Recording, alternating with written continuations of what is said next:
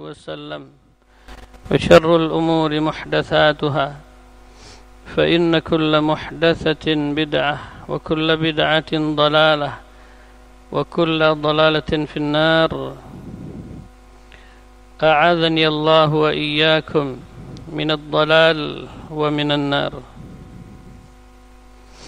أيها الإخوة muslimin dan muslimat sidang jamaah salat maghrib. Rahimani Allah wa iyyakum.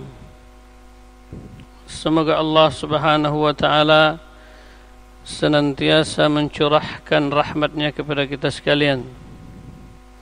Marilah kita memanjatkan rasa syukur kita kepada Allah atas segala nikmat yang Allah Subhanahu wa taala anugerahkan kepada kita sekalian. Wa ma bikum min ni'matin fa min Allah. Jadi nikmat yang ada pada kita saat ini semua merupakan pemberian dari Allah Azza wa Jal yang wajib kita syukuri dan ketahuilah bahwasanya semua nikmat tersebut kelak akan dimintai pertanggungjawaban di hadapan Allah. Mudah-mudahan kita menjadi hambanya yang bersyukur, yang pandai bersyukur atas nikmatnya. Salawat dan salam semoga senantiasa tercurahkan kepada Sayyidul Awwalin wal Akhirin panutan kita Rasulullah sallallahu alaihi wasallam. Wa may yuti'illaha wa rasulah. Barang siapa yang taat kepada Allah mengikuti Rasul. Jadi tidak cukup hanya taat kepada Allah, tapi harus mengikuti Rasul sallallahu alaihi wasallam. Faqad faza fawzan 'azima, maka sungguh dia akan memperoleh keberuntungan yang besar. Maka ada sebahagian orang hanya mau taat kepada Al-Quran, kepada Allah, tapi tidak mau taat kepada Rasul. Maka ini belum lengkap. Ya. Jadi harus dia taat kepada Allah dan taat kepada Rasul. Wa may ya'sillaha wa rasulah. Siapa yang bermaksiat kepada Allah dan bermaksiat kepada Rasulnya. Menyelisihi Rasul SAW ini bukan perkara kecil ya. Menyelisihi Rasulullah SAW ini termasuk perkara besar. Wa may ya'sillaha wa rasulah faqad dhalla dhalalan mubina. Maka sungguh dia telah tersesat dengan kesesatan yang nyata. Ya. Ka ayyuhal ikhwah rahimani wa rahimakumullah. Kaum muslimin dan muslimat sidang jamaah salat maghrib rahimani wa rahimakumullah. Tema pembahasan kita pada malam ini adalah tahsinul qiraah. Jadi membaguskan bacaan Al-Qur'an kita berkaitan dengan surat Al-Adiyat. Ya. Suratul Adiyat. Karena Al-Qur'an kalamullah, ya. Jadi para ulama telah memberikan kepada kita kaidah dalam membaca Al-Quran. Ada kaidah-kaidahnya, ada aturannya. Tidak boleh menyelisihi kaidahnya. Ya. Karena panjang dengan pendek lahu makna. Ya, panjang pendek itu ada maknanya. Kemudian hurufnya juga demikian. Jadi tidak boleh salah dalam pengucapannya. Ya, maka kapan salah pengucapannya, maka huruf ya, tatkala salah pengucapannya, maka maknanya secara spontan dia telah berubah. Gitu. Ya. Kalau orang mengatakan kan saya nggak sengaja, ya makanya disuruh belajar, ya. Saya nggak sengaja salah baca. Tidak, tidak, tetap tidak boleh ya. Karena menuntut mempelajari ilmu sebelum kita mengkaji Al-Quran, mempelajari, membaca Al-Quran, itulah hukumnya wajib. Jadi setiap ibadah itu wajib hukumnya. Mempelajari ya, ketentuan-ketentuan yang berkaitan dengan suatu ibadah itu juga wajib. Ya, salat itu wajib. Mempelajari rukun, syarat, kemudian kewajiban, hayah dalam salat juga wajib hukumnya. Ya. Jadi lebih wajib hukumnya mempelajari suatu ibadah. Al-Imam Al-Bukhari rahimahullah beliau dalam kitabnya eh, memberi satu judul bab al-ilm bab al-ilm qabla al-qaul wal amal. Ilmu itu sebelum seseorang itu menyampaikan dan sebelum dia mengamalkan. Berarti harus memiliki ilmu. Demikian juga berkaitan dengan Al-Quran. Karena ini merupakan mukjizat yang terbesar yang Allah turunkan kepada Rasulullah SAW. Ya, maka kaidah-kaidah yang berkaitan dengan bacaannya juga wajib kita pelajari. Ya, tidak terlepas. Ya. Tidak ada apa namanya? Ya. Tidak ada kelonggaran, ya. Tidak ada rukhsah. Ya, tidak ada kelonggaran. Kita punya punya kewajiban bagaimana menyempurnakan bacaan kita. Gitu. Karena Al-Quran ini yutla, Al-Quran kita baca, kama unzil, target kita, Al-Quran itu dibaca sebagaimana Allah turunkan dulu. Itu tidak boleh dirubah. Baik hurufnya, tidak boleh dirubah maknanya juga demikian. Tafsirnya juga tidak boleh dirubah. Harus semuanya sesuai dengan aturan sebagaimana yang telah dicontohkan oleh para ulama salaf yaitu ulama terdahulu. Salaf itu maksudnya ulama-ulama terdahulu. Mulai dari para sahabat, tabi'in, tabi'ut tabi'in sampai ke bawahnya. Itu namanya ulama salaf. Jadi tidak boleh salah memahami. Jadi terkadang fobia dengan kalimat salaf ya. Dengar salaf wah. Ya tidak boleh fobia. Kenapa? Salaf itu adalah ulama-ulama terdahulu. Jadi kita harus mengikuti mereka. Walladzina tabauhum biihsan. Allah sebut dalam Al-Qur'an ya orang-orang yang mengikuti mereka mengikuti para salaf. Biihsan dengan baik. Ya karena tidak akan selamat seseorang apabila dia keluar menyelisihi jalannya mereka. Ya, tidak akan selamat. Siapa pun dia, hartanya dia tidak mungkin mampu menyelamatkan dia apabila dia telah keluar dari jalur ya para salaf. Baik. Tayyib, insyaallah kita mulai dari surat Al-Fatihah.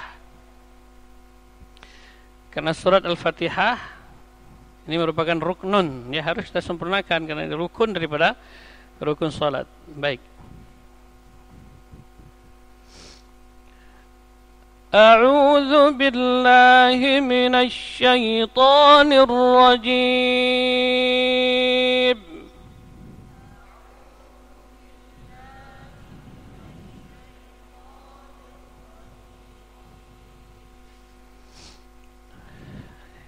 huruf sya ini huruf tafasyi Mana tafasyi intisyarur rih menyebarnya udara di mulut dorongannya dari tengah lidah Jadi tidak boleh dia semburannya itu di luar, tapi di dalam. Sya. Ya, karena sifatnya rakhawah dengan hamas. Ya. A'udzu billahi minasy syaithanir rajim.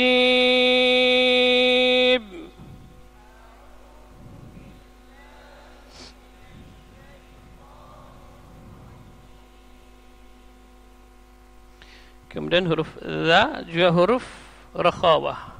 Jadi yang mengalir hanya suara. Zu, tidak boleh ada desisnya. Ya. Tidak boleh ada desis, tidak boleh dibaca zu. Tapi zu. Ya. Karena apabila dibaca dengan desis maka maknanya berubah. Ya, bukan lagi aku berlindung akan tetapi aku telah kehilangan. Ya. Itu maknanya. Berubah dia. Jadi zu, za huruf yang rakhawah. Mana rakhawah itu layyin dalam bahasa. Secara bahasa arti rakhawah itu layyin. Itu lunak. Ya. طيب أعوذ بالله من الشيطان الرجيم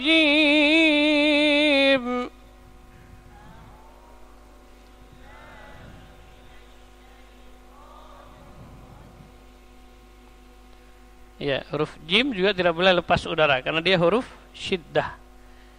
Jim.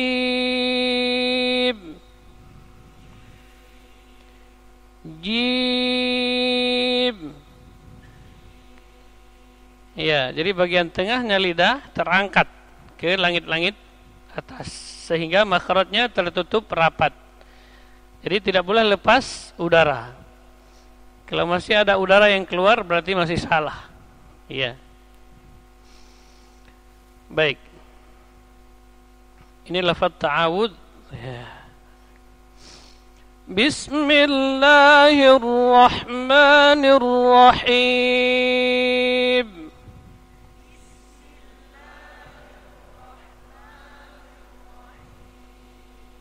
Ya, huruf ra itu huruf tikrar, huruf yang memiliki getaran.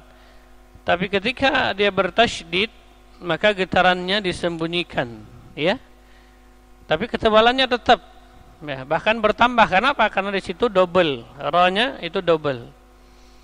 Bismillahirrahmanirrahim.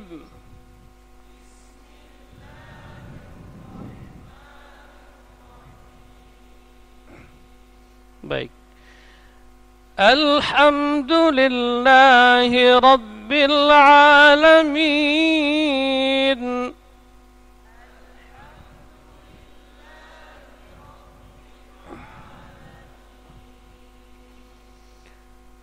الرحمن الرحيم.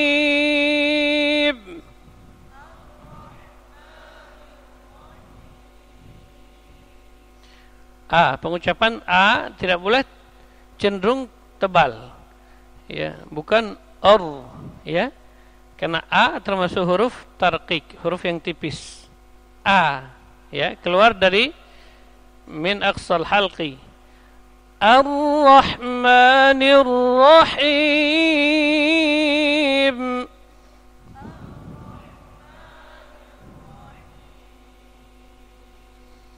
مالك يوم الدين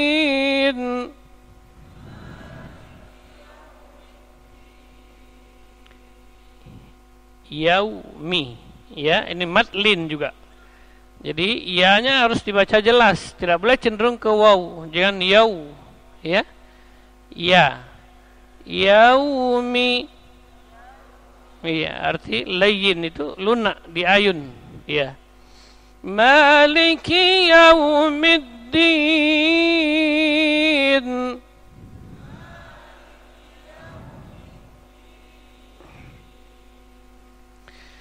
إياك نعبد وإياك نستعين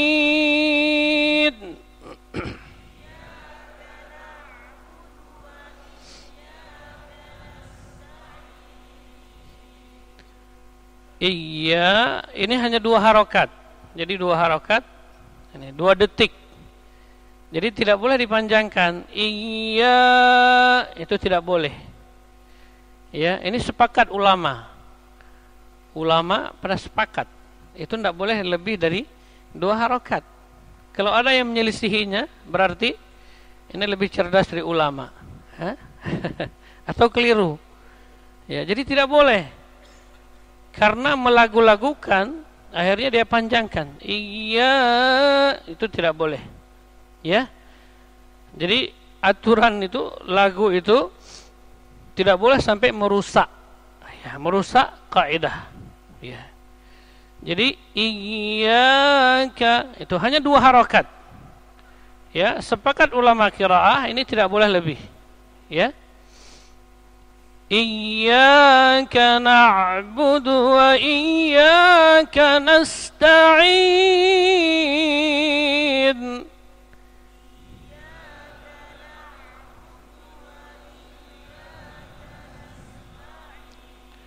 Ya, kemudian nasta. Itu tidak boleh tebal.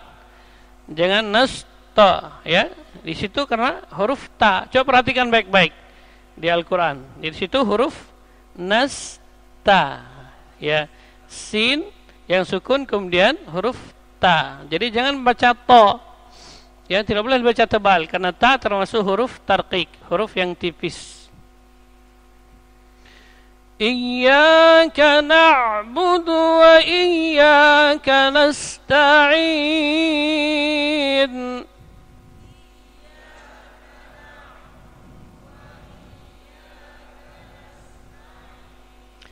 nasta nasta'in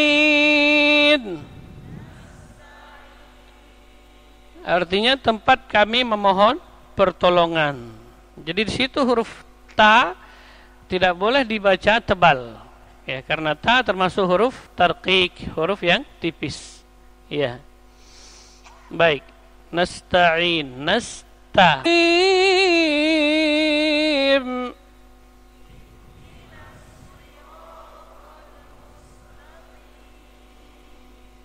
Ya, tidak boleh juga dibaca ismam. Apa itu ismam? Monyong. Sui. Jadinya bunyinya sui. Itu tidak boleh juga ya. They were